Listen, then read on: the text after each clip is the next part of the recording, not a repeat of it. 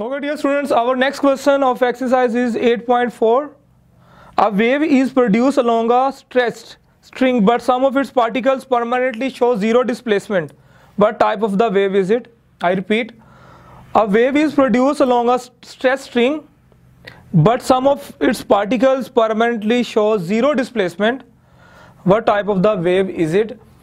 Students, answer of this question can be written as there asked uh, that stationary wave is formed along a stress string but some of its points show permanently zero distance. We can write this uh, we can represent on a string. This is string. When we vibrate this string so wave should be like this. Okay so there asked there is some points like this where the displacement is? 0 these points. And we know that these points are nodes.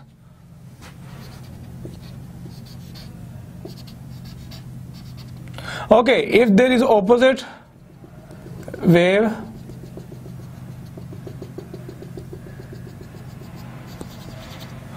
so this is also that point where displacement is 0 and we know that what type of the wave is it and if these two waves intersect like this then we can get some of pattern like this.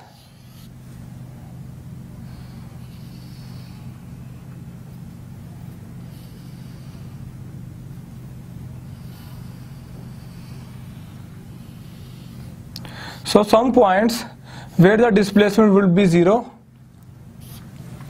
That those points are called nodes or zero displacement and in the stationary waves uh, we can say that these points so show zero displacement. So we can write this. The answer of this question is this is stationary wave.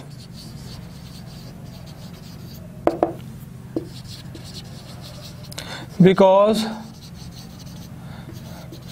in stationary waves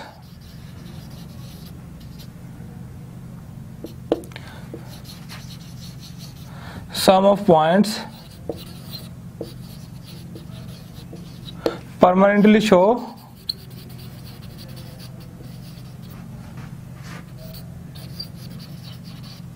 zero displacement.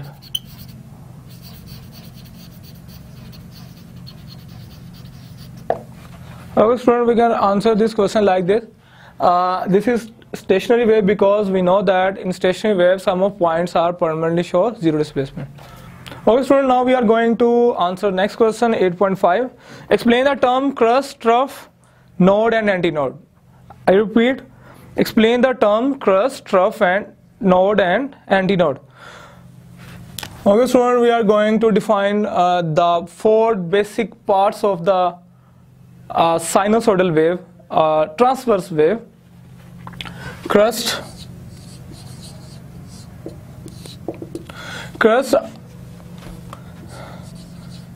those points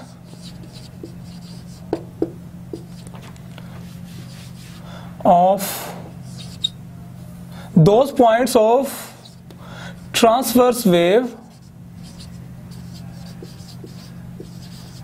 transverse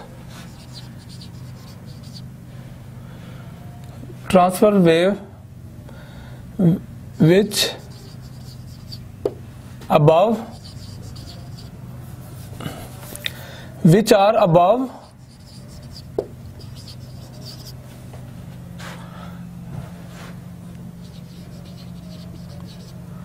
above the mean position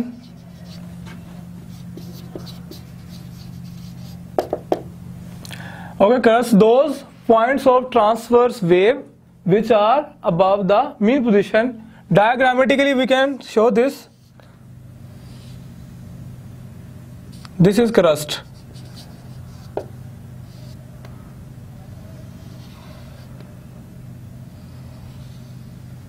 So these these, uh, these are crust. Next term is trough. Okay, dear learners, we can define the trough like crust. Those points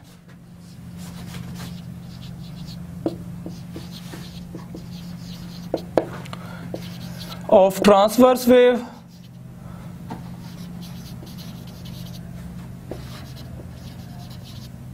which are below the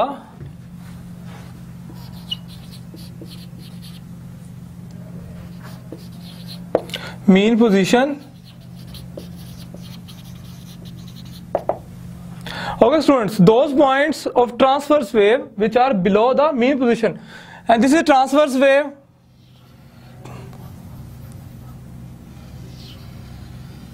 Propagating transverse wave those these points which are below this is mean position. O. And those points which are below the mean position. Trough. Those are called trough next term is node. Okay students. Those points which show permanently zero displacement from the mean position on either side above or below. This is called node. So we can define the node, we can write the node as those points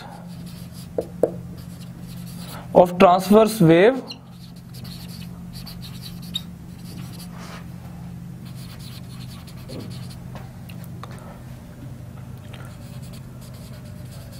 which show zero displacement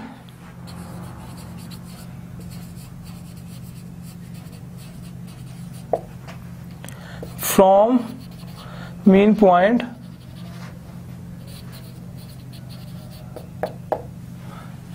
now we are going to define antinode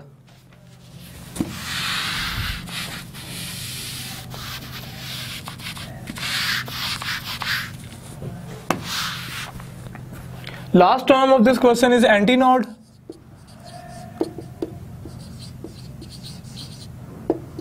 okay we have already defined node and node and opposite of the node is antinode. In node we defined that zero displacement. While in antinode we can define the maximum displacement from the mean position. Those points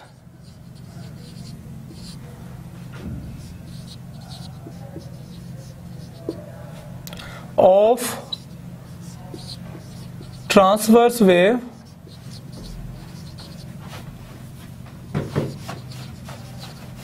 which show? Maximum displacement. Which show? Maximum displacement.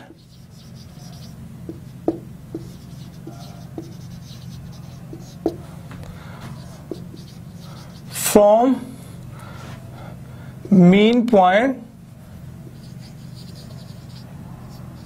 or mean position in either direction.